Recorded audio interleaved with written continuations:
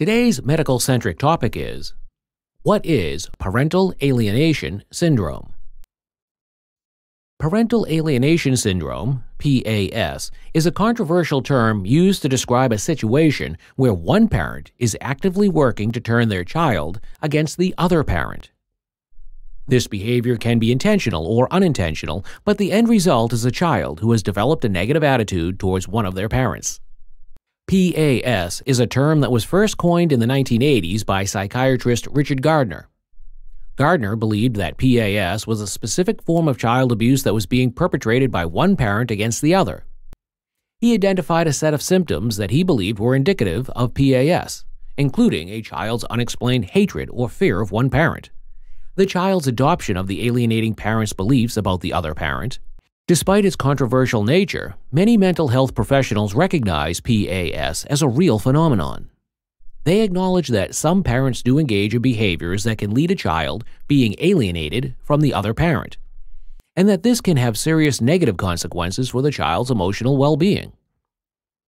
There are many factors that can contribute to the development of PAS. Some common ones include a history of conflict or abuse between the parents, a high conflict divorce, and a parent who is struggling with their own mental health issues. The effects of PAS on children can be severe.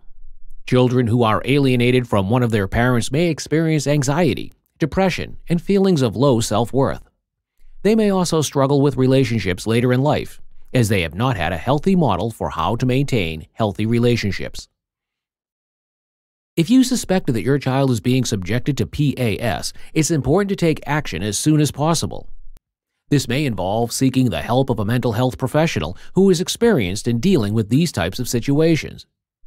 In some cases, it may be necessary to seek legal intervention to ensure that the child's best interests are being met. To prevent PAS from occurring, it's important for both parents to work together to maintain a positive relationship with their child. This means avoiding negative talk about the other parent, respecting each other's parenting styles, and prioritizing the child's emotional well being above all else. In conclusion, parental alienation syndrome is a controversial but recognized phenomenon that can have serious negative consequences for children. If you suspect that your child is being alienated from you by your ex partner, it's important to take action to address the situation as soon as possible. Working together as co parents to maintain a positive relationship with your child is key to preventing PAS from occurring in the first place. Thank you for watching our video. Please do not forget to like and share the video. Also, please subscribe to the channel to stay updated on our latest videos.